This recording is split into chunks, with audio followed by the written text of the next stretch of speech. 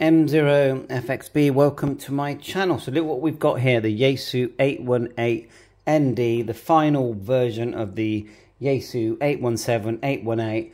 Why have I bought this? Well, to me, it's a classic radio and I just want to have it here with my other radios. Really, I bought this permanently to keep this, not to sell, and to do many, many comparison videos with the 818 and thick radios like the Xiegu X6100, the ICOM 705 and the new eventually QRP HF radio from Yaesu. It's obvious they're going to make one.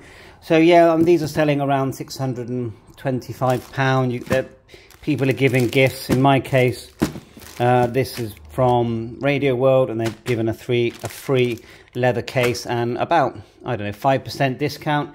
Now I will say I'm very happy with the way it was packaged. I have bought items before, Yaesu item 710. It was not double boxed.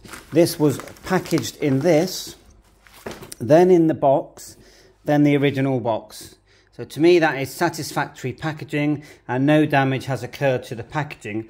I think that any seller, any retailer should be double boxing all the radios they sell. And if I was a big ham radio selling shop, I would have I would do have all my radios would have the highest possible quality packaging possible to show everyone that I am a very good ham radio seller and I will not even let the bo the boxes of my radios get damaged to show the standard that I, I require and that would then roll on to the actual radio because that will give you confidence that if they're looking after the boxes then um, they're also looking after the radio.